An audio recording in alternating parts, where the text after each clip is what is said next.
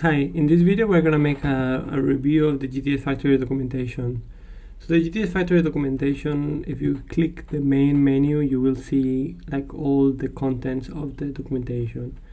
If you hit the first menu, you will see basically the README, which is the same one you see on GitHub and on PyPI when you get the uh, when you get that GDS Factory, you can see PyPI. So this is the latest version uploaded to PyPI. This will change as we uh, release new versions of GDS Factory. Another thing you can also do from here, you can also see the you can launch Binder, which basically will create a way for you to play around with GDS Factory notebooks. So this is one of the featured ways. So you can run notebooks on Binder, you can see slides or read the documentation, which are these docs. There's also some YouTube videos that you can watch. Uh, also to show you how to use GFI3 in a more interactive manner. Uh, so the intro tutorial is basically how, how to get started. So uh, Factory is a code-driven flow, so it requires some basic knowledge of Python. So here we show some introduction to Python. It's important that you understand some things as class, what's a class, what's a function, what's a factory. A factory is basically a function that returns an object. Uh, decorator is basically a function that runs over a function. So here we explain decorators. And we also use list comprehensions and many of the functional programming uh, basically tools. Uh, for example, partial, it's basically a way for you to, to change the default arguments of a function.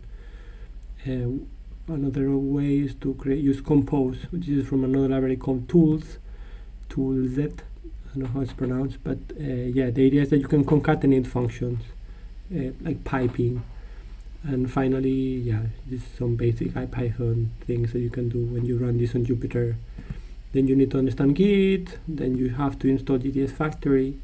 Uh, so to install GDS Factory, I recommend to install it through Mamba. And Mamba is like a, a faster version of Conda and you can download it from here depending on the OS you are. And there's a video for that on macOS um, yeah but the same works on Windows and Linux. So this is works for Windows Mac and Linux 3.7 3.8 3.9 and 3.10 I'm currently on 3.10 but I, I tested it in we test every day on all the versions and all the operating systems.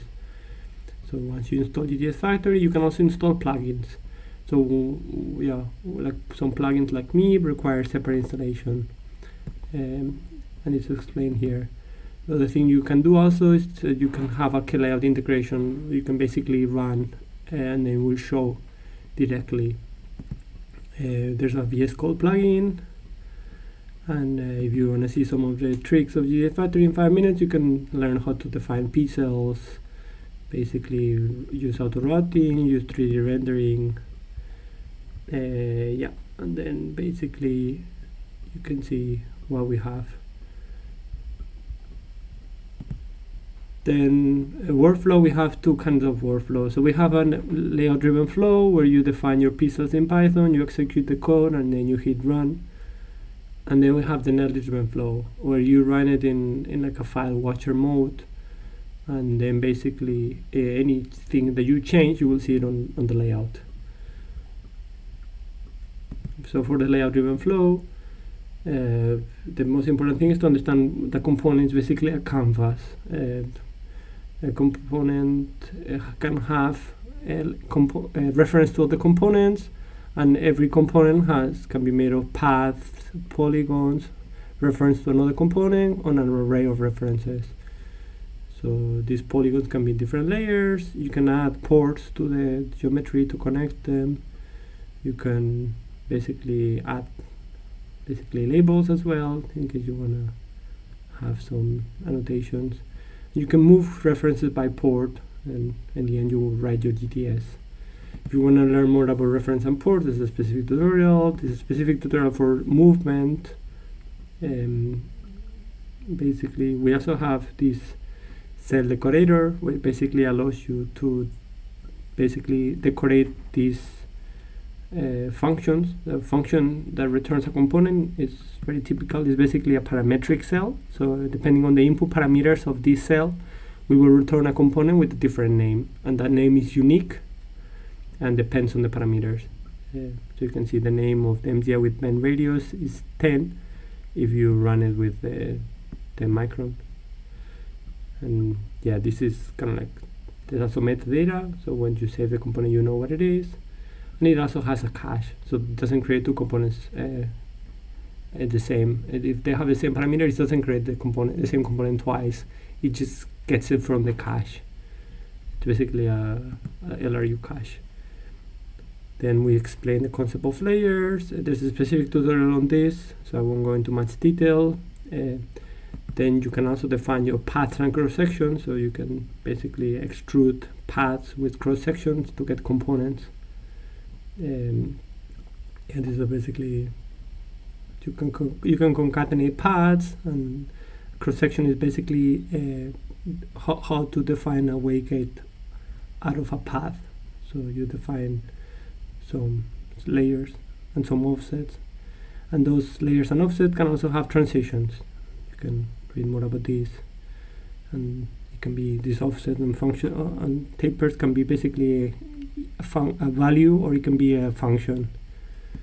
Then components you can you some basic components here. The, the full component documentation is here. Uh, these are basically uh, all the components on the generic PDK you can also allow components with hierarchy, so out of very simple shapes you can create more complex components. And this is the power of, uh, of uh, references. Uh, we also have a routing function, so we can have get route, uh, get route from steps. Uh, we can also have electrical routing functions. Uh, this is basically how to assemble a reticle, like add some test protocol labels, how to define a PDK, uh, basically a PDK is a way for you to register layers, cells, cross sections, and you can get them by the name. Um, so this is very easy to do uh, if you follow this tutorial. And importing PDKs, this is basically in case you get a Foundry PDK that's not on GDS Factory, you can basically create your own. Uh, so you just, these are the steps. Um, and then uh, we also have an driven flow tutorial and then we have also a way for you to, to understand like how, how to define netlist. A netlist is basically a place and route. There's also a specific tutorial on this, so I won't go into much detail. But uh, yep, you can see here. And the last part, the, uh, we should make a separate video for this because it's pretty lengthy. Is basically all the plugins that it has. So simulation plugins. So it has mode solvers, a couple of mode solvers. Um, it has FDTD and the idea is that we have a common API to run different tools and then we have circuit simulations so these are basically out of the S parameters of the FDTD you can actually make linear, linear circuit solver simulations. And if you want to contribute it's an open source project so you can just send a pull request or you git clone the repo and then you fork a repo onto your user space. And then as long as you test passing uh, most likely your feature will be merged in the next version you can also test the GDS factory PDKs see the differences. We can also check the change log to understand what are the changes from the last version. You can even click on them and you will see what what what changed. So you can see the differences. So you can know what happened here in this version. And finally there's our components. The components are the generic component, uh, generic PDK components that you can customize for your specific foundry.